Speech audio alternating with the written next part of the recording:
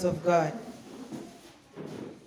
I'm blessed and honored to be before you and before, before God Amen. so that we can share His word. Asante sana praise and worship kwa kipindi hicho. Wacha Mungu azidi kuwainua. Nawakaribisha katika ibada hii. Karibuni sana patakatifu pa Yesu. Wanaotutazama katika mtandao, karibu sana. Unapotaka kututafuta utatupata Manyata kona mbaya Ragia PAG. Karibu tukaweze kushiriki nawe neno la Mwenyezi Mungu. Bwana Yesu asifiwe. Haleluya. Habari ya last week. Habari ya last Sunday. Nzuri. Okay. Kwangu ilikuwa wow. Kwa sababu ilinitoa mahali ikanisongesha mahali pengine. Haleluya. And that was my prayer. Kwamba hiyo wiki katika mkutano ule wa revival ikaweze kukutoa mahali ikusongeshe mahali. Na imani Mungu aliachilia neno lake na kusudi. And we are still there. We are still overcoming the spirit of stagnation and delay. I believe I promised you last Sunday kwamba tumekuwa na evangelist amekusisimua, amekuchochea, ukasema amen, amen, amen nyingi, amen, amen, akakusukuma mpaka ukaomba sana. Na leo hii nataka nikufundishe, nikufanye uelewe, ujue na uendelee mbele. Bwana Yesu asifiwe. Kwa hivyo karibuni tunaposoma our text Deuteronomy chapter 1 verse 6 and 7. Thimu yetu ya mwaka ni kwamba moving on, kuendelea mbele, na hatuwezi kuendelea mbele ikiwa tumekwama. We cannot move forward when we are stagnant. Lazima tuondoe huyo roho wa kukwama ili tuweze kuendelea mbele. Bwana Yesu asifiwe. Kwa wale ambao wamenisahau, naitwa mchungaji Rosemary Mayende, nikiwa mchungaji wa mahali hapa. Wageni karibuni, wenyeji karibuni. Tunasoma Deuteronomy chapter 1 verse 6 and 7. Neno la Mungu linasema hivi: Bwana Mungu wetu alituambia huko Horebu, akasema, mlivyokaa katika mlima huu vyatosha. Geukeni mshike safari yenu, mwende nchi ya milima ya Waamori na mahali pote palipo karibu na hapo, katika hiyo Araba na nchi ya vilima vilima, na huko Shefela na Negebu na pwani pwani, nchi ya Wakaanani na Lebanoni, mpaka mto huo mkubwa wa Frati. Na Mungu abariki neno lake. Bwana Yesu asifiwe. Kitabu hiki ama maneno ambayo tumeyasoma mahali hapa, aliyeyaandika ama aliyeyakusanya or whoever compiled these words ni Moses ambaye aliandika vitabu vya kwanza vitano vya Biblia.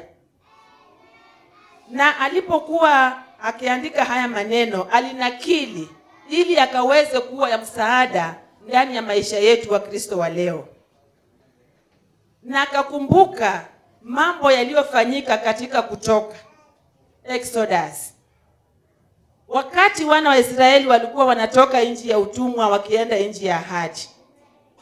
Walipotembea katika jangwa, wakatembea katika hali ngumu, wakatembea wakizunguka zunguka, wakafika mahali pa mlima Horebu, chini yake pale wakakaa mahali pale wakatulia.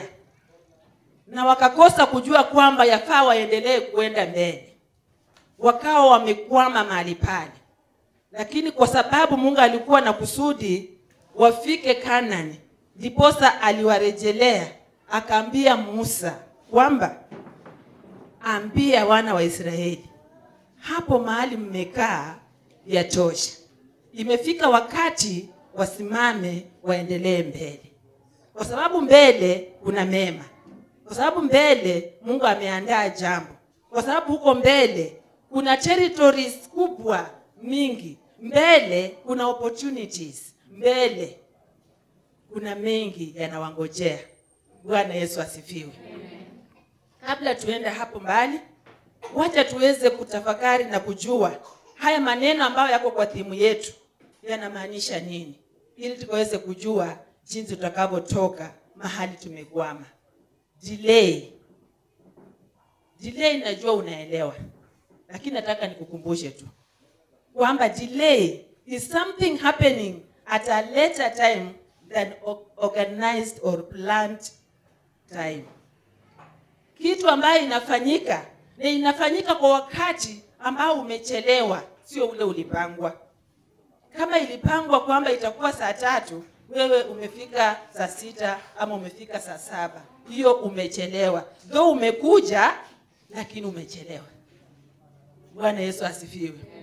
Tho umepata lakini umechelewa. Kwa hivyo that is delay. Though wakati mwingine tunatiwa moyo na hata mimi nawatia moyo kwamba delay is not denial. Yes but delay is a weapon of the devil. Kuchelewa ni silaha ambayo shetani anaitumikia katika maisha yetu kama watoto wa mungu. Kwa hivyo jaribu sana. Jaribu sana katika maisha yako. Uondoke katika hali ya kuchelewa. Kwa sababu kuchelewa kutakukosesha baraka za mwenyezi mungu. Bwana yesu asifiwe. Supposing you are going for an interview na interview mliambiwa mfike by 8:30 by 9 interview itakuwa on. Na wewe unaingia saa nne. Utafanya interview. Si baraka imekuacha kwa hivyo delay though delay is not denial but delay is a weapon used by the devil to make us stagnant. Usikubali kuchelewa. Stagnation. What is stagnation si tunajua stagnation tunajua ile hali ya kukwama the state of not flowing not moving. In other words it's lack of growth or development. Stagnation is the state of not flowing not moving. Umekwama kukwama umepandwa ukamea na ukapeleka taproot na imeenda kuenda and there's no moving forward or backward. You are stagnant. So it's the state of not flowing. In other words it's a situation in which something stays the same and does not grow or advance or progress. It is that state. Ambapo kitu imebaki tu hapo. Haikui ikienda juu haiadvance kuchukua space na hata haiprogress kwenda mbele. It is that state and that is what we are talking about. Stagnation. Stagnation puts you in that state where you cannot grow you cannot develop you cannot advance you cannot progress. It's a very bad state i believe it's a very bad state and we must overcome it we must come out of it. We might be there na hatujui tuko mahali pale. Kwa hivyo mungu atusaidie tugundue kwamba tuko mahali pale tumekwama ili tukaweze kusonga na kuendelea mbele. In life and in real life it means the lack of growth and development. Hakika uko pale pale hata kazi unafanya biashara unafanya lakini biashara yako ilibaki ni kuchoma mahindi. Tangu 20, 2013 mpaka imefika 2023 2024 inakuja wewe kazi yako bado tu ni kuchoma mahindi. Ulikuwa unaenda sokoni unachukua mahindi ya shilingi mia moja shilingi mia mbili shilingi mia tatu na mpaka leo bado unaendaga kuchukua mahindi ya shilingi mia tatu. Hata iliongeza bei sasa mahindi mia tatu siku ile ilikuwa mahindi ishirini lakini leo mahindi ya mia tatu imefika mahindi saba. Sasa inabidi unachukua mahindi ngapi? Saba. You are stagnant. Bwana yesu asifiwe. Wakati mwingine kuna stagnation even in the church. Church growth might be stagnant. Na unajua kama wanadamu macho yetu nataka kuona vitu vikubwa alafu unafikiria uko sawa. Kama kanisa imekuwa na watu kumi na inakaa na watu kumi for the next five years tunaiita namna gani? Stagnated church. Lakini kama church iko na watu mia na itakaa na watu mia for the next five years tutahitaje Hayo kanisa ni kubwa kanisa ni kubwa. Hiyo kanisa ni kubwa. Tuko tu watu mia. Mwaka mmoja tuko mia. Mwaka ile ya pili tuko mia. Mwaka ile tuko mia. Tunachanga vitu zetu zote. Hatuna hesabu ya kupiga ya kuongeza vitu vingine. Hiyo kanisa imekuwa. haleluya bwana yesu asifiwe. Sisi kwa fungu tunaongoza. Tunatoaga 50000 mwezi wa kwanza 50 wa pili 50 mpaka mwaka inaisha 50 mnaitwa watu wa hamsini. You are stagnant.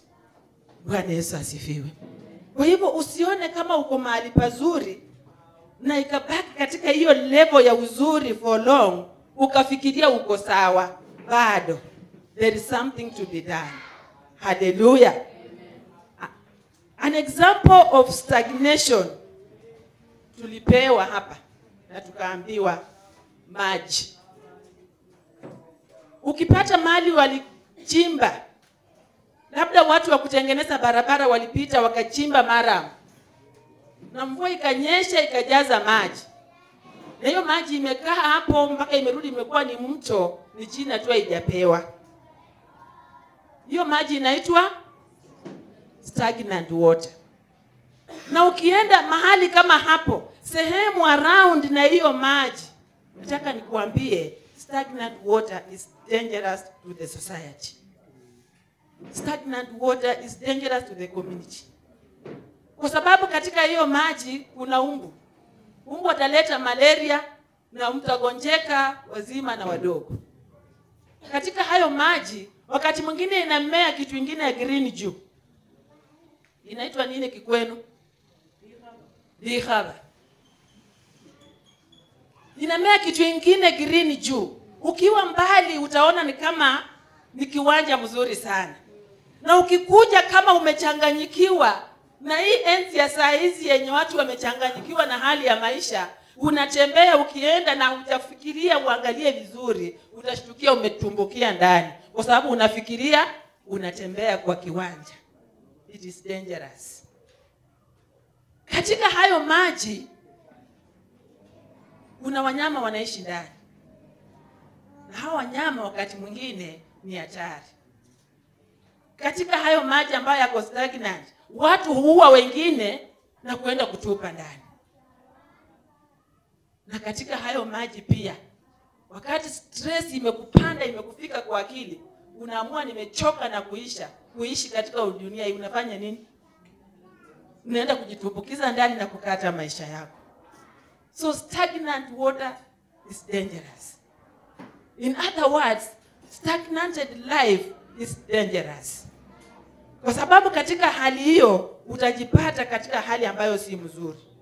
Spirit of stagnation. We are overcoming the spirit of stagnation. Ndio gani? It is the force of retardation that makes the past of a person better than the present. Ni spirit ambayo inakurudisha nyuma. The spirit, a force. A force ni kitu ingine yenye huoni. Kuna kuwa na force ingine yenye inakusukuma na hiyo force huioni, saa zingine huielewi. but this force of stagnation this spirit of stagnation is a force of retardation retarded growth retarded move retardation. Umekwama mahali pale. Yani inafanya somebody's past inakuwa better than today. Lakini jinsi tunavyojua siku zote ni kwamba inatakana kesho yangu ikuwe better than leo. Na leo yangu ikuwe better than yesterday. Lakini inafika mahali penye unapata ukikaa unakaa katika kumbukumbu. Kumbu. unakaa katika hali ya historia. Unakaa na kukumbuka siku zile tulikuwa tuki. Siku zile kanisa letu lilikuwa limechangamuka siku zile kanisa letu lilikuwa limejaa. Kwetu sisi hatukuwa tunalala njaa. Kwetu tulikuwa hatukuli mboga mara mbili. Kwetu ilikuwa ilikuwa. Yaani kwenu na ile maisha uliishi siku ile ni tofauti na ni better than today ujue kuna shida. Bwana yesu asifiwe. Kwa hivyo that force tuliambiwa hapa na evangelist kwamba inapatikana namna gani? Ama inajipataje ndani ya maisha yetu? That force inapatikana kwa maisha yetu wakati mwingine wakati watu waliongea maneno ndani ya maisha yako. Somebody talked negatively. Mtu alitupa laana ndani ya maisha yako. Mtu akasema endeni nimewakuruhusu muende lakini haleluya kwa maisha yako if there is a but there is nothing but like a but. Lakini hata kama umekosea mwenzako ama mwenzako amekukosea tuseme nimekukosea shamazi na nikuje nikuambie na kuomba unisamehe. Yale nilifanya kwako sioni kama ni mzuri. Roho yangu inahukumika kwamba nimekukosea nisamehe lakini utaniambia pasta nimekusamehe. Lakini unapoongeza lakini that thing is not good. Bwana yesu asifiwe. Ndiposa hata tukaambiwa hapa katika wakorintho kwamba mlango wangu umefunguliwa mkubwa sana wa kuingia ndani na niende katika baraka zangu na niende katika yale ambayo nimeahidiwa. Na nimeenda katika yale ambayo mungu ameniandalia. Lakini kunao wengi ambao wamefanya nini?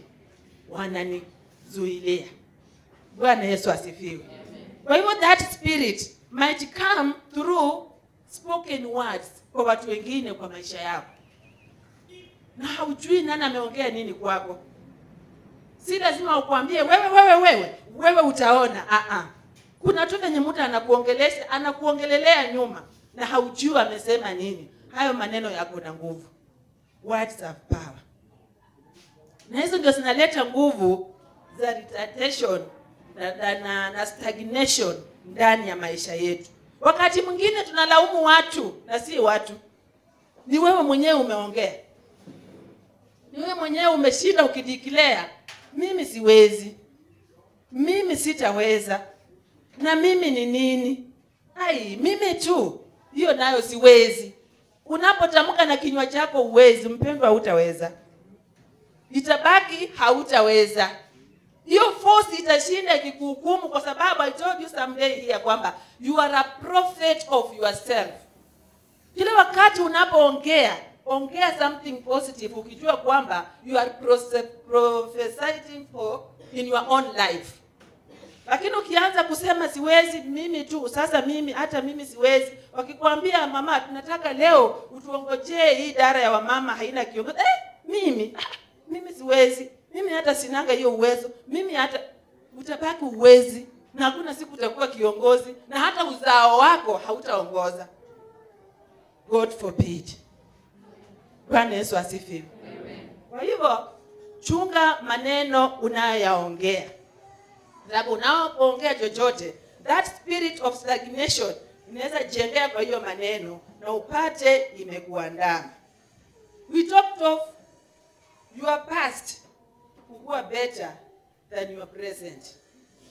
Alafu wakati your past imekuwa better than your present unashinda ukidwell in the past.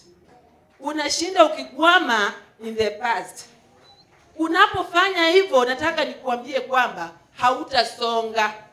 Kwa sababu kila wakati you are not focused to the forward you are focused to the back. Na unapobaki umeangalia huku hakuna venye utatembea ukienda mbele na mgongo yako imeangalia huku.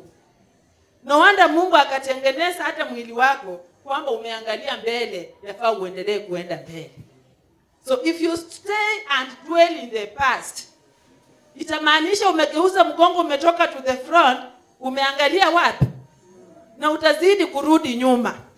Na unapozidi kurudi nyuma ile past yenye uliwacha huko hautaipata. Ilishapita it's not there. So can you dwell on the future? Dwell on today and tomorrow. So that your life may not be stagnated. And what does the word of god say about the past somebody read isaiah 43 18 For those who like dwelling in the past na kutoa ushuhuda wa yaliyopita.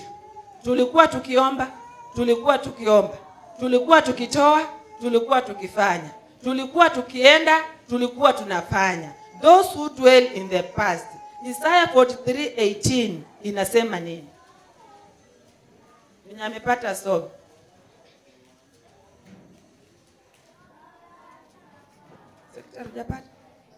Uh, 43 verse 18. Forget the former things, do not dwell on the past. Yes. Forget the former things. Don't dwell on the past. That is the word of God. Kwamba forget the former things, but dwell on the present and the future. Don't dwell on the past. Why? Doing so causes you to get stuck where you are. Unaposhinda ukifikiria nyuma, hautasonga hata hatua mbele, utagwama pale pale na utaendelea kudeteriorate na kubaki a nothing. Then utakuwa a nobody, wewe mwenyewe utajiita nobody, watu wengine watakuita anathem. And it's not pleasing to the ears. Sijui kama wewe itakufurahisha. Bwana Yesu asifiwe. Wana wa Israeli walifanya hivyo, walishinda wakisema, Musa alitutoa huko kwa nini? Huko hata kama tulikuwa tunafanya kazi ngumu, tulikuwa tunakula huko, hata kama tulikuwa tunang'ang'ana tukitengeneza bricks, tulikuwa tunakunywa maji tukisikia kiu, na huko kwenye tulitoka, hata kama tungekufa, kulikuwa na makaburi, tulikuwa tunazikwa. Kwa sababu hiyo walikwama katika jangwa walizungukia katika jangwa for 40 good years. Nataka nikuambie safari ya kutoka Misri kwenda Kanani it was ya 14 days. Just for a fortnight. 14 days wangetoka huko na wafike kule kwingine. But because they did not focus to Canaan. Walikaa wakageuka wakaangalia nyuma. Wakasema afadhali kule afadhali kule, afadhali kule. Ilibidi wakakaa mahali pale muda mrefu sana. Nataka kuhatarisha watoto wa Mungu, tuache kuangalia huko nyuma kwenye tumetoka. Acha kuangalia maisha yako mahali imekuwa. Jaribu kufikiria hapa mbele, unataka ikuwe namna gani, na unapofikiria, omba Mungu, ukifanya bidii utachoka katika ile matope na utasonga mbele.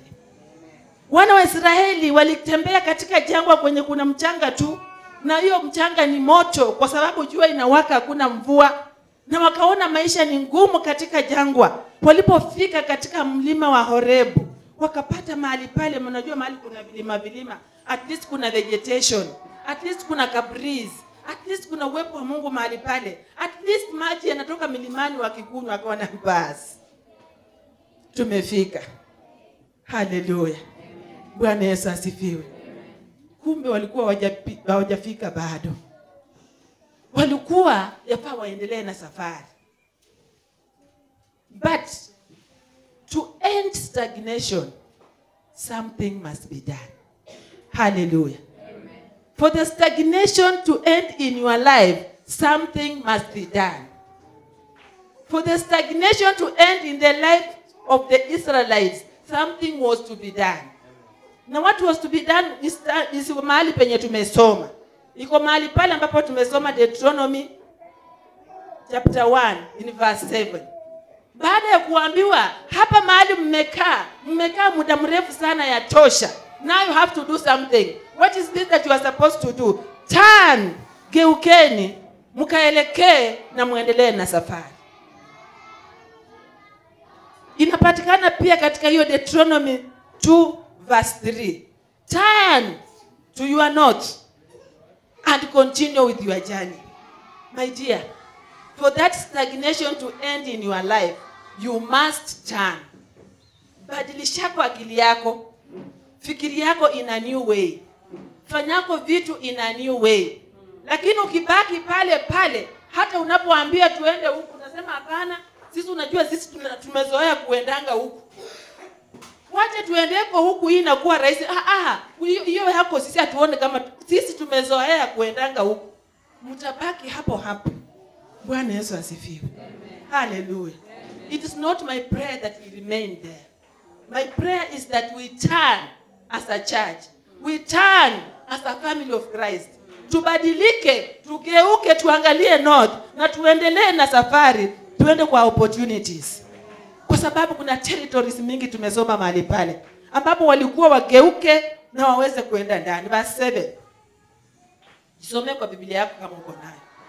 Geukeni mshike safari yenu muende nchi ya milima milima ya mwamori na mahali pote palipo karibu na hapo. Sikia mahali pote palipo na hapo katika hiyo araba na nchi ya vilima vilima na huko shefela. Yani enda. Milango zimefunguka mbele mingi mpendwa. Wacha kukaa chini ukiua opportunities zako. Haleluya. Bwana yesu asifiwe. And what are the causes of stagnation?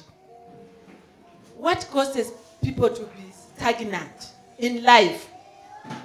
Ni kitu gani hiyo inafanya unakwama mahali huko number one feeling satisfied of accomplishment.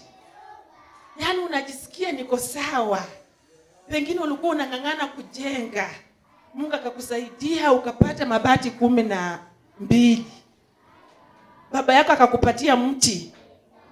Ukatafuta wamama vijana huko nyumbani wakakutafutia vito na hizo zingine.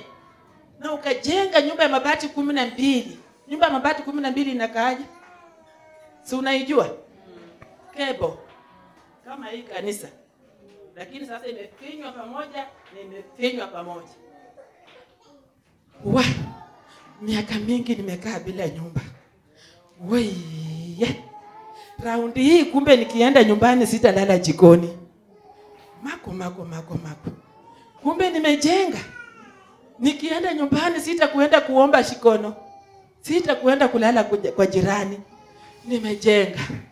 Alafu unaridhika. Nimejenga. Na si umejenga kweli? Si umeaccomplish kitu? Si hautalala jikoni? Si utaenda kulala kwa jirani? Si umejenga? You have accomplished something. Na unatulia. Nimeshafika. Unakaa town miaka yako yote mpaka inafika miaka ya kuritaya kurudi nyumbani bado uko na kebo ya mabati kumi na mbili That's why watu wakifikanga nyumbani kwa hiyo miaka wanakufa haraka, kwa sababu wakipata maisha wanakaa sasa ni ngumu, kwa sababu walikaa satisfied, kwa sababu walishajenga. Nataka nikuambie mambo bado. Unapotembelea, ukitembea nje, ukiangalia, tembea ukisema nataka kama hii. Unaposonga unaona wengine wanasema ah, ah, ile sasa ile imerudi nyuma kidogo, sasa nataka kama hii, na ulishajenga ujue sasa endelea kuona maono mengine. Tafutako sasa hata hip. Kuna ile yenye ina maji na mwakika sides zote. Jaribu kufikiria kuona mbele. Lakini ukikwama pale mimi he, kwetu watu hawasomangi. Watu mwenye ameenda mbali sana ni class 6. Vijana wanatoroka wakienda kutafuta vibarua jua kali kufanya usoja na mengineyo. Wasichana wanatoroka wakienda kufanya umeiti hawamalizangi hata class 8 lakini kwa sababu Mungu alikujalia ukafanya class 8 wa wa wa. Mimi ndio nimesoma katika hii boma. Wa wa hii masomo yangu yote nitafanyia nini? Wa nimefika. Ah ah mtoto tunataka uende form 1 ah mimi mambo ya form 1 sitaki. Si mimi bora niko na certificate? Nishafanya class 8 at least mimi peke yangu kwa hii boma niko na certificate. Because you have accomplished that primary education and you have a certificate of class A, now you are comfortable. Na kuuliza wewe hiyo certificate ya class 8 leo inakupeleka wapi? Itakufikisha wapi? Don't be satisfied na mali umefika. Fanya bidii kusonga mbele. Toka mali pale mwangaza iko mbele. Bwana yesu asifiwe. Another reason that makes people to be stagnant it is being scared of making mistakes. You are scared of making mistakes. Hapa kwenye niko niko sawa. Nikisonga mbele ah, ah, naweza fanya makosa. Unajua kuna, kuna msichana amefika 18 years. Hello? kuna nyako amefika what? 18 years. At 18 years hata serikali inasema you are an adult hata kama umepatikana umeoleka utachapuako tu kiboko na wanakuacha. Wachana na huyo she's an adult she, she knows what she wants. Lakini wewe umetoka 18 umefika 19 umefika 20 uko 23 unaendelea 25 lakini wanapokuuliza msichana habari yako? Nakupenda. Nataka uwe rafiki yangu. Ah, mimi sitaki. Mimi sitaki kupata mimba sitaki. Ni mambo ina relationships itafanya nipate mimba. Na mimi sitaki mimba. You don't want to do what? To make mistakes. Haleluya you are married. Katika hiyo ndoa kikaumana kikagongana ikabidi umetoka. Na maybe umetoka genuinely mpaka hata umetoka na kotini. Kwa sababu koti ikiamua this marriage should end then imekuwa ni ya hatari ya kuachana. Kihalali. But we are still 26 lakini mtu akikuja mbele yako "Ah, ndo hapana. Sitaki kufanya makosa yenye nilifanya. Nilifanya makosa. Kaniletea shida. Nimezaa mtoto na lea peke yangu. Sitaki kurudia hiyo makosa unakwama hapo you are 30 you are 40 umefika 46 sasa ndio umeanza kung'ang'ana yawa. Nitapata wapi mume kunioa hey, jameni fulani ako tu vizuri kwa maisha yake na mimi. You are scared of making mistakes. And because you are scared you stagnated where you are. You delayed and now you are at 40 unataka kijana nani ya kuowe kama utaki bwana ya mtu unataka wanani tembea na majira tembea na wakati. Kufanya kosa si kosa. Kurudia kosa. Na wewe mtu mzima ujue saa ile unafanya makosa. Bwana yesu asifiwe. Don't be scared. Be bold enough know what you want. Make right decisions. Move ahead. Wacha kukwama na kuchelewa. Wacha kufika mahali pa ile penye una nimekumbuka hii. Acha tu niseme. Kuna watu hapa wazuri sana. They are very beautiful and handsome. Yes. Tukiwaambia halalisha ndoa hawataki sijui they are scared because somebody utakuja kupinga hii ndoa yenye imekaa ndani miaka mingi. Wanangoja saa ile anasmaili "Hii, mtu anafikiria na huyu mama analia nini? Anji sijui nitakuvalishaje hiyo neti nimetoka huko. Haleluya bwana yesu asifiwe. Siongei kwa anji naongea kwa sisi. You are there. The time is now. Usingoje urarukiwe na wakati i don't know what you are scared of. Mungu akusaidie. Utoke in that stagnation. Alalisha ndoa yako. Alalisha maisha yako. Ishi maisha ambayo inampendeza mungu. Kaa katika ndoa ambayo inakubalika. Na mungu na wanadamu. Bwana yesu asifiwe. Uliibwa na ukaiba. Ukatoroka usiku kwa dirisha. Ukawacha unga katika tingatinga. Ukawacha nyungu mtoni. Alafu umefika huko you are very comfortable. Stagnated. God forbid bwana yesu asifiwe. Sasa nimekuchokoza. Haleluya sinakuambia utoke katika stagnation. Sinakuambia utoke katika delay. Because chelewa chelewa utapata mwana si wako. Others are here. Walibarikiwa na watoto wanaume peke yao. Wakafika mahali wakaogopa. Acha niseme vice versa kwa sababu watu wanapenda wale wengine. Walipata wasichana peke yao na hawajapata kijana. Lakini sasa wakifikiria ai hapana sitoi hii kitu. Nikijaribu tena atakuja tu msichana. Nikijaribu tena atakuja tu msichana na niko na wasichana watatu. Na kuambia that man is going to look for another woman to give him a, a boy child.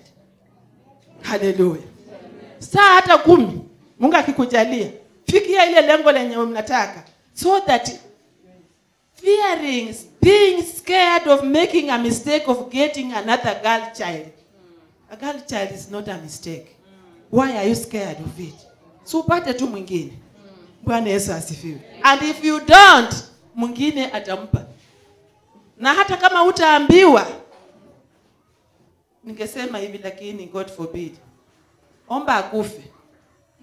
Huyo mwanaume utaona laini yenye watakuja nyuma. Huyu ako na wanaume watatu huyu ako na wanaume wawili huyu ako na msichana na mwanaume kwa sababu ulikataa kuendelea. You are scared of making mistakes. The worst part of it cause of stagnation.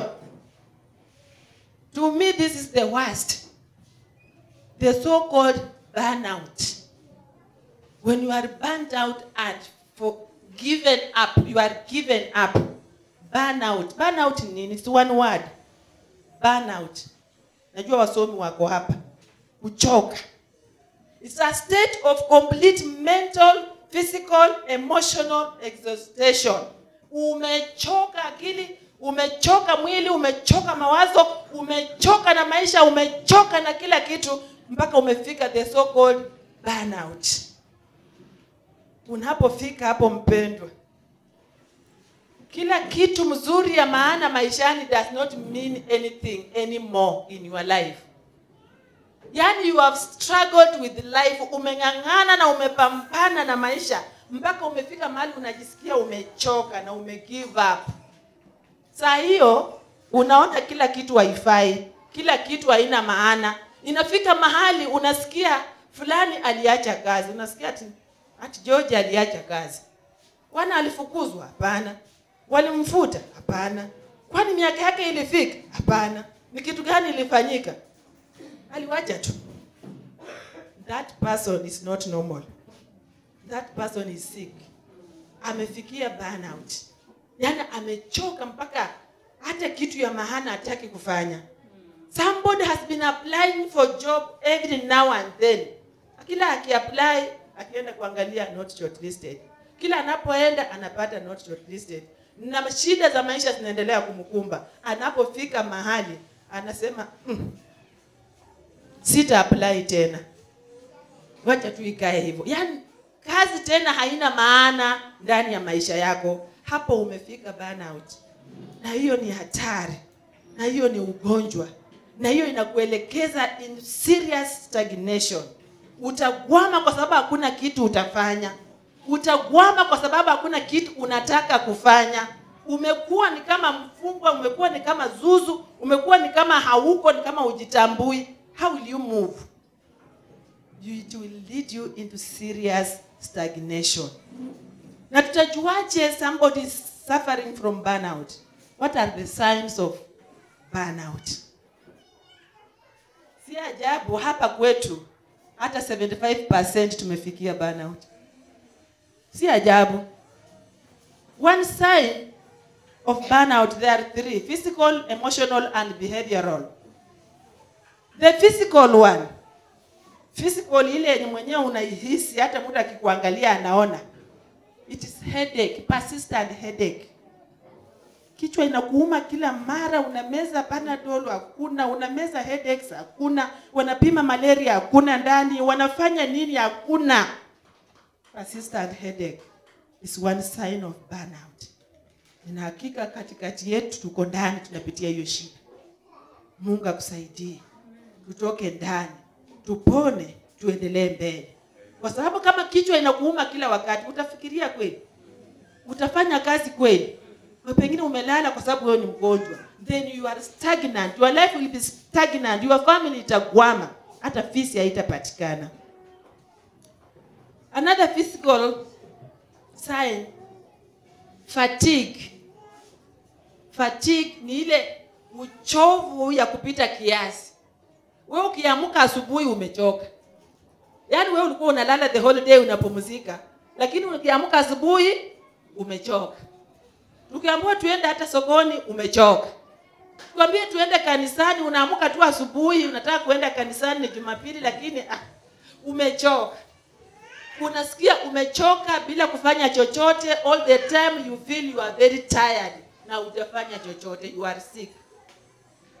Umefikia burnout. Na unapofika mahali hapo it's dangerous. Another thing is frequent illness. Kila saa wewe ni mgonjwa kila saa fulani ni mgonjwa kila saa muombee fulani ni mgonjwa kila saa fulani ni mgonjwa.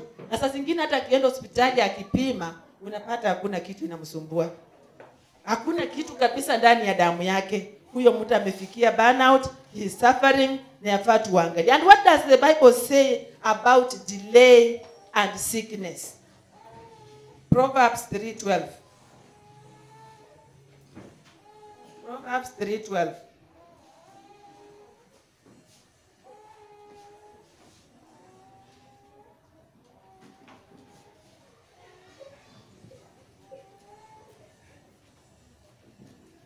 umefika susome neno linasema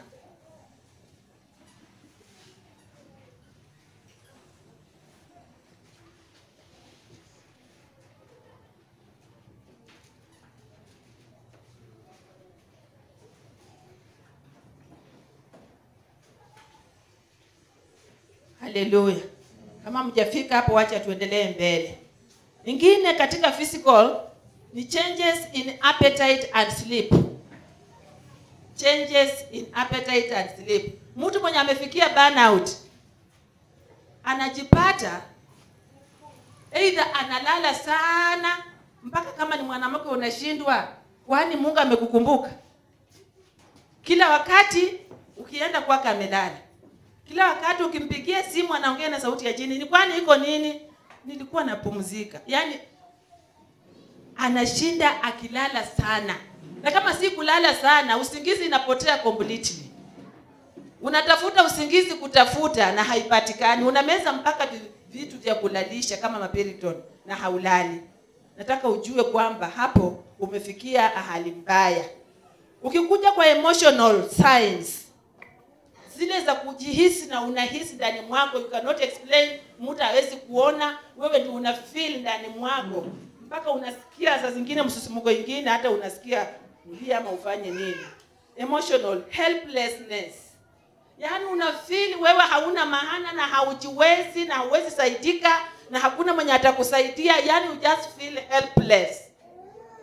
Huwezi kujisaidia na mtu hawezi kusaidia na ukishafika katika hali hiyo hauna nafasi ya kutoka kwenda kufanya kazi. Hauna nafasi ya kusimama kufanya vyenye vinavyotakikana. Ndiposa utabaki you are stagnant. Your life will remain there because you know you cannot be helped and you cannot help yourself. Ya pili ni sense of failure or self doubt yaani kwa maisha yako unaonanga tu wewe. Wewe. Hoshiabula yaani sasa hata wewe nini kitu gani kweli unaweza fanya? Mpaka hata wewe mwenyewe unajua sasa mimi hata wakiniambia niende kazi nitafanyaje kazi? Siwezi. Hata wakiniambia ni siwezi. Na self doubt unajidoubt wewe mwenyewe. Badala ya watu waulize waseme eh, na shamazi ataweza hii kweli? Wewe mwenyewe ndio unasema na mimi nitaweza hii kweli? Self doubt inakupeleka mahali pabaya another thing is feeling alone in the world. Yani you just feel you are, you are alone. Uko pamoja na wengine jinsi tuko hivi but kwa akili zako it's like you are just alone. Ushafika mahali unaongelesha mtu. Unamwongelesha respond. Unamwongelesha amezubalia kitu hivi. Unamusa wewe sina kuongelesha eh? hmm? sio kitu inafanyika. That person is sick and that person amefikia stagnation ile ambayo imesukumwa pale na burnout. You feel alone though we are with others. You feel alone in the world. Chunga usifike mahali pale. Ya mwisho behavioral. Ile kitabia yani mtu akikuangalia anaona eh, na fulani siku hizi amebadilika. Na hii fulani siku hizi anakaaje number one reduced performance in daily duties daily tasks. Ukishafika hapo mahali pa be- behavior zako zimebadilika anji hata utaki kukalia mashini yako kushona sweta ukijisikia kukaa pale kushona sweta ah, nitashona baadaye. Yaani roho imetoka hata kwa kazi. Uko na shida hauna pesa unaitiwa kazi nani? Abuenje josephine kuja kuna kazi hapa mtu anasema nataka mfanye kazi Wewe unasema mimi sitaki kazi. Hiyo kazi ni ngumu huko ni mbali. Mimi siendi huko sina fea yaani umefika mahali penye hautaki kufanya chochote. Jambo lingine behavioral withdrawal or isolation. Inafika mahali umewithdraw tu kwa watu hutaki watu. Umejiisolate from people. Yaani unataka kukaa tu peke yako kama tumekaa hapa wawili hivi watatu hivi unajisikia tu hauko sawa hapo. Nataka tu niende kusikia breeze huko unachukua kitu unawacha watu unaenda kukaa peke yako nje. Unapokaa pale wengine watakuja wakujoin mwanze kupiga story muongee muongee kidogo utaki kukua hapo unachoka unajiisolate you are sick. And if you are isolate yourself like that my dear you are stagnant in life. Na hautasonga kwa sababu unapokaa na wengine watu wanakupatia maono mengine mnachangamkana katika kuongea na unapata unapata new visions na unasonga mbele. But if you are alone na tayari umekwama umeshindwa who will help you? Bwana yesu asifiwe. The last one on behavioral ni burst out. Outburst outburst yaani wewe uko tu ready kulipuka. Mtu akuambieko tu eh, mama direct na leo uko smart. Badala ya kusema asante unajua nini utasema? Wachanga kunichezea mnapenda kunipima akili. Hiyo nguo yenyewe iko wapi yenye umeona niko smart? Sasa shida ilikuwa nini? Makosa kabisa hapo ni nini? Nimekuambia tu mama director uko smart. Lakini umepasuka ndani watu ishirini. Uko na shida apart from kupasuka na kulipuka na kugombana. Umeanza.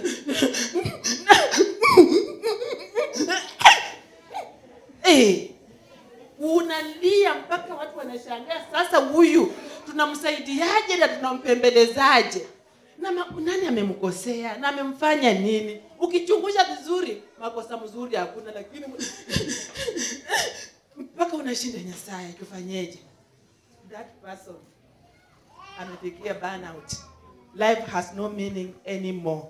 Na anaweza hata kujinyonga. Na anaweza hata kujirusha mtoni. Na anaweza kukunywa sumu. Kwa sababu maisha imekwama haoni maendeleo haoni mbele haoni nyuma kila kitu inapo. That one will lead you to serious stagnation. Because you are not thinking you are not working you are not talking you are not. Hallelujah. Bwana yesu asifiwe but the theme is overcoming the spirit of stagnation. How do we overcome now? As i finalize how do we overcome stagnation? One thing you should know you are not alone in this situation. Hallelujah. That's why I said tuko wengi, maybe 75% of us are in that situation. Si wewe peke yako, ni wengi wanahangaika. Jipe moyo, jikaze, simama, endelea, maisha itaendelea. Wacha kukwama mahali pale, kwa sababu si wewe peke yako, na hiyo inakuleta kwa namba two, become inspired again. Haleluya! Jichangamushe, jitie moyo mara tena. Jisema hii ninaweza na ninataka kufanya. Siwezi kwama hapa. I must move on and life must continue. Jipe moyo jipe moyo jitie nguvu. Biblia inasema na miguu iliyolegeza itiwe nguvu na hata mikono yenye imelekewa itiwe nguvu. Unapojiexpire again itakuwa mzuri. Number three try a new thing. Jaribu kitu kingine. I talked about mahindi choma.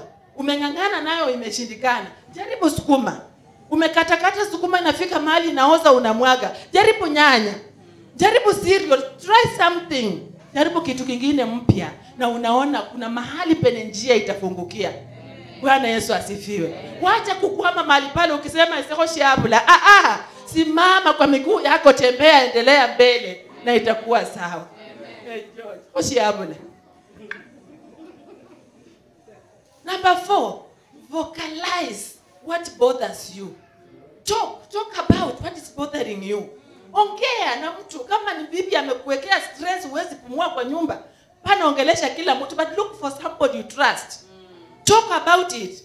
Mwambie huku kwangu silali. Mwanamke akishafika kwa kitanda ni kelele, ni kelele, ni kelele, stories zote. Mimi silali, ananigombeza, anataka hii, anataka hii, na mimi sina, nifanyeje? Basta, nifanyeje? maybe I'll have a way to help you lakini ukijinyamazia sasa hii ni yangu tu niko kambele somwene niko kambele. Kuna unyomnyora anaimbanga hivyo. Kwamba haya amenitosha tu mimi tu. Itakuwa. Bwana yesu asifiwe. And lastly mambo ni mengi. Lakini wacha nikuambie hii. Concentrate on what you want. Not on other people's goals. Hallelujah. To come out of stagnation, concentrate on what you want and concentrate on one thing at a time. Hapana, nataka nyumba, nataka gari, nataka bibi, nataka mtoto at the same time, nataka nataka shamba, nataka at the same time, na hauna pesa, hauna kazi kwanza, utazipata wapi? Sio nitaanza kukuua. Kama unataka gari unataka nyumba unataka shamba hizo zote ni pesa na hauna kazi. Concentrate on looking for a job. Kwanza. Haleluya ukishapata kazi utapata pesa. Hiyo pesa yako tafuta shamba kidogo inatoshana na pesa yako. Hapana taka pesa kubwa yenye pasta anapatanga. Hapana pata pesa kubwa ile yenye shamasi anapatanga kwa mjengo. Kwa sababu yeye ni contractor na anapokaa chini kunegotiate haujui amenegotiate kiwango gani. Wewe unataka kujishindanisha na yeye. Si utapasuka msanga? Bwana yesu asifiwe. Si utashangaa na wewe mwenyewe. Don't concentrate on other people's calls concentrate on your own goal and vision. Na hapo mungu atakusaidia. Nataka nikuambie finally listen to god pray and turn. Haleluya sikiza mungu anasema nini. Omba huyo mungu. Geuka maishani jinsi neno linavyosema. Continue to your opportunities for the door is wide open for you to enter. Ijapo kuna wengi wanakuzuilia but kama umegeuka na umesema unaenda there is a force that will force you kuingia katika opportunities zako. Wacha kulegea legea na kusema isekoshinendatukakushiezi hakuna sheri imefika hapa enzi bado inakuja. Haijafika mwisho wa dunia wangu umefika. Ukitaka tujue mwisho wa dunia wako umefika kufa ukishakufa mambo yako itakuwa imeisha. Lakini kama bado unaishi omba mungu. Soma neno la mungu. Omba. Sikiza neno linasema nini? Be the doer of the word and it shall bless you. Hakika wana wa israeli walipoambiwa geukeni na muendelee waligeuka na wakaendelea na ndiposa walienda wakaingia katika kanani. Kama hawangekeuka na wakaanza kutembea wangegwama mahali pale. Hawangeona baraka zao. Hawangeona kanani they stayed that place too long because it was a good place. It was a peaceful place. It was very comfortable. Lakini mungu had better things for them ahead. Mungu ako na mambo mazuri mbele yetu. Mungu anatuwazia mambo yaliyo mazuri. Wilderness is just but a pathway to home pana kwama katika wilderness. Wilderness is just a way to show you that it is difficult yes. It is hard yes. It is horrible yes. But it is possible. Yes. haleluya ukijivika moyo ya kusema it is possible hakuna siku utashindwa. Lakini ukijifunga kamba umefunga leso ama umefunga mshipi tumbo imekaza? Mimi tu nina shida shida na mimi. Mpaka ifika mahali usemi mimi matatizo nimezoea. Mimi hata nikisikia wakisema mambo ya kazi sio mambo mimi hata hainihusu. Kazi ni sahau. Mimi nimejaribu mpaka nimechoka. Nimejaribu mpaka nimeshindwa. Sasa hata sitaki kufikiria maneno. Ushindwe. Toka huko. Changamuka pita katika wilderness. Enda Canaan the blessings are waiting for you. Come out of the wilderness. God is commanding us to go forward. Make progress in your life in Jesus name. Progress in your life in Jesus name. Develop in your life in Jesus name. Move forward and make growth in your life in Jesus name. Na hautafanya kama umekaa chini unaimba tu. Makono munwa gwanje sikula moroma simoni syanje sitirarora mami wanje umbu utalia utalia huyo mwami wako na hata kusaidia. Mpaka siku ile utaamua hii miguu yenye imefungwa utoe ndani kamba. Mpaka hii mikono yenye imefungwa utoe ndani hizo chains. Ndiposa mungu atabariki kazi ya mikono yako. Ndiposa god will order your steps ndiposa neno la mungu litakuwa mwangaza kwa miguu yako na litakuwa nuru katika njia yako. Kwa sababu umeondoka unatembea. Lakini ukikwama pale mpendwa utaimba nyimbo zote za huzuni na huruma and they'll do nothing to you. Bwana yesu asifiwe. Nikifika hapo ninakuambia it is time of overcoming the spirit of stagnation. It is you to stand up and work on it nobody will work on it for you. It is you yourself to say yes i do. Amen. and it will be done in jesus name. Simama kwa miguu yako. Umejua kama umefikia burnout? Umejua kama ndio umeanza kuwa fatigue? Umejua kama ndio umeanza kuwa na headaches? Wewe umejua kama ndio unajihisi helpless kila wakati wewe ndio unajihisi failure unajua.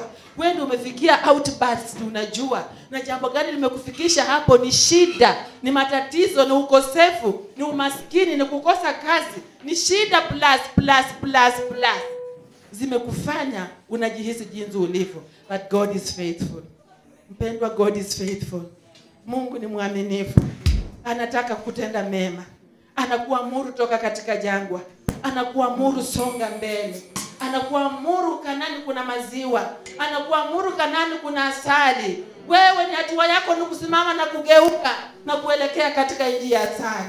Pemba, fungua kinywa chako ongea na mungu. Ongea na mungu wako. Mwaga roho yako mbele ya mwenyezi mungu. Yale majungu na mazito ambayo amekuwa na kusumbua yaachilie mbele za mwenyezi mungu. Yamwage katika uso wa bwana. Ili baba akaweze kutetea. Ili baba akaweze kutenda mema ili akaweze kubariki ili akaweze kufikisha katika hiyo asali. Mlango umefunguka mpendwa. Fanya bidii ya kuingia ndani. Magonjwa anakunasa kila wakati. Umeshindwa ukimbilie nani ushindwa ufanye nini? Mungu yuko pamoja nawe.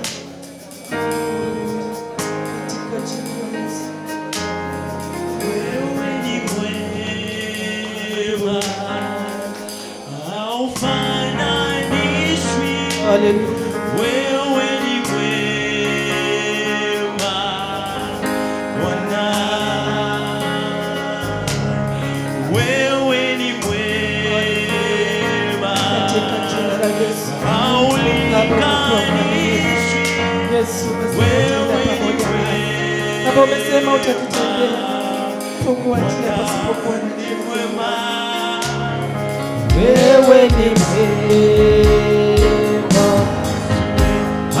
upangaliswi wewe ni mwema.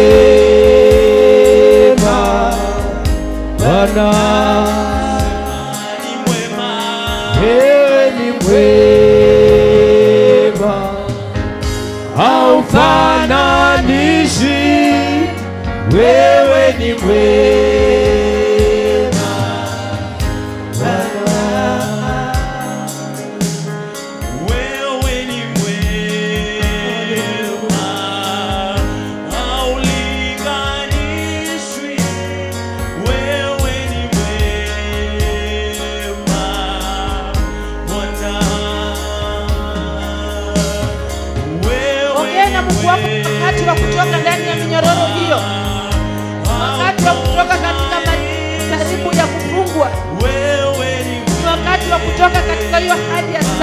Stagnation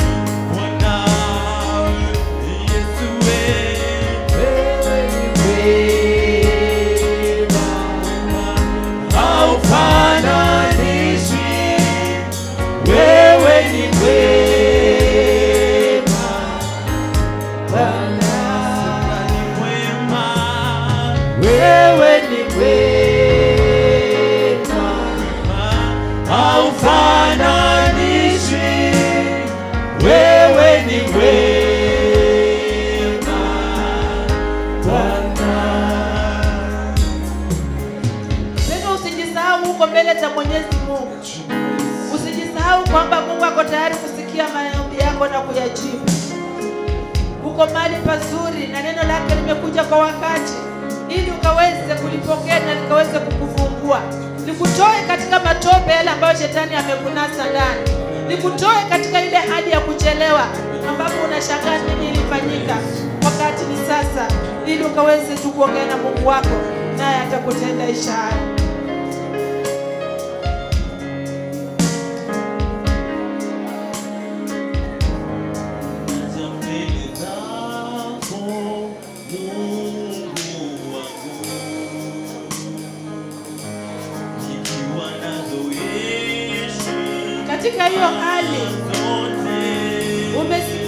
Wewe ni mmoja ambao unahitaji Mungu akufungue. Umehitaji ukaweze kuomba pamoja nawe ili ukaweze kufunguliwa katika hali yako, na kusihi utembee kwa miguu yako, ukuja hapa mbele tuombe pamoja, ili Mungu akaweze kufungua, ukaweze kuona baraka ambazo amekuandalia. Unahitaji maombi, ni wakati wa maombi.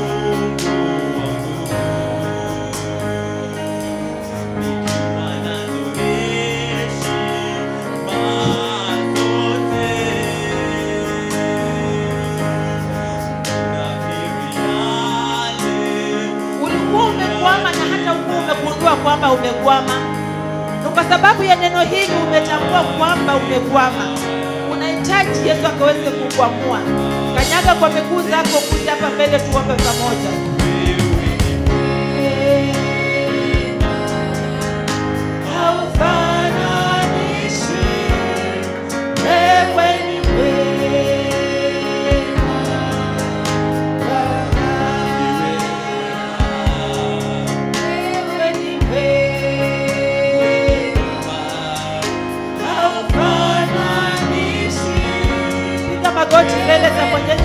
Unaponyenyekea kutende jambo.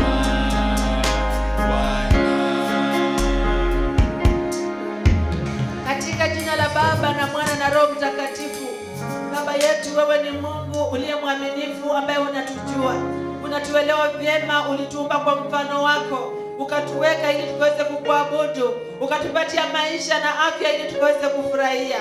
Tazama Baba, katika safari, katika hali ya kuendelea na wokovu, Jehova, katika safari ya dunia hii tumekutana na magumu, tumekutana na lahana, tumekutana na matamshi ambayo hayafai, wameongea kinyume juu ya maisha yetu. Baba, maisha yetu yamekwama ni kwa ajili ya matamshi ya kutoa watu.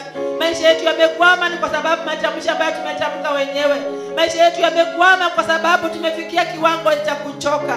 Baba, ndio hawa watoto wako wamenyenyekea mbele zako wamekuja mbele zangu nami nawaleta mbele zako. Nikiwaombea rehema nikiwaombea baraka nikiwaombea ushindi nikiwaombea ufunguo wewe ndio mungu uliye na baraka zao mungu unayewajua vyema. Wewe ndio mungu unayewatambua vyema. Wamenyenyekea baba wakiinua sauti zao mbele zako. Unajua sauti ya kila mmoja. Unajua ombi la kila mmoja. Unajua hitaji la kila mmoja. Dada huyu namkabidhi mkononi mwako baba nikijua kwamba unamwelewa vyema. Maisha yake mahali yamegwama katika jina la yesu kaweze kufungua viovu shetani na mipango zake ibilisi na vifungo vyake vya delay and stagnation ndani ya maisha yake nang'oa sasa katika jina la yesu ikaweze kushindwa. Baba ukaweze kumtembelea na ukaweze kumkumbuka. Mfungue kwa sababu wewe ni mungu. Asante kwa mama huyu ambaye amenyenyekea chini ya miguu yako. Baba umemuumba ukamleta katika mji huu. Miaka yote amemekaa katika mji huu unayatambua baba. Na kuomba yesu ukaweze kufungua maisha yake roho ya kufungwa roho ya kuchelewa roho ya laana ambayo imekwama ndani ya maisha yake na hata kizazi chake inakuja kinyume chake inakemea na laana na ngoa. Katika jina la yesu ikaweze kushindwa. Yesu kamfungue, kwa sababu wewe ni mungu. Asante kwa dada huyu namweka mbele zako. Baba yangu unajua hitaji la moyo wake. Mahali amefungwa mahali amekwama mahali amechelewa baba wewe unaweza kumwondoa. Nachukua vifungu vyote vya laana na shetani na mpango yake ambaye imemkwamisha katika hali hii. Ninakataa na ngoa na sabaratisha katika jina la yesu ikaweze kushindwa yesu ukaweze kumtawala. Mtende mema kwa sababu wewe ni mungu. Asante kwa dada huyu mikononi mwako. Baba yangu unamjua unamwelewa. Mala amekwama mala amefungwa unajua. Yesu mwana wa mungu kaweze kumkwamua. Vifungu vyote vya shetani laana matamshi ya watu katika jina la yesu ikaweze kushindwa yesu ukamtawale ukamwinue kwa sababu wewe ni mungu. Mkutano kwa jumla iko mbele zako baba. Kanisa kwa jumla naliweka mkononi mwako mfalme. Mahali kanisa limefungwa na midomo ya wanadamu. Waliosema kwamba hawataendelea waliosema kwamba tutaona waliosema kwamba hawawezi songa ninakataa midomo hizo za watu wasiofaa. Katika jina la yesu ikaweze kushindwa. Vifungu vya kanisa hili kwa watu waliotangulia hapa wakasema sisi ndio tuweka msingi na sisi ndio kusema. Wakafunga kanisa ninakataa ninang'oa. Waliotoka na machozi katika madhabahu haya yes. wakatoka wakinung'unika wakisema tutaona katika jina la yesu wakaweze kushindwa.